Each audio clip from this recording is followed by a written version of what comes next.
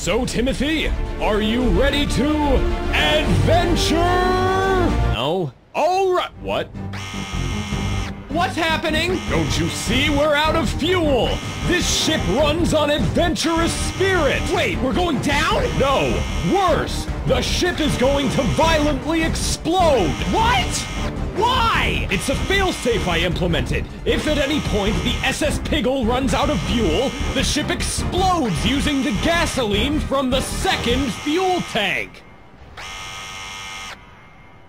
That is the stupidest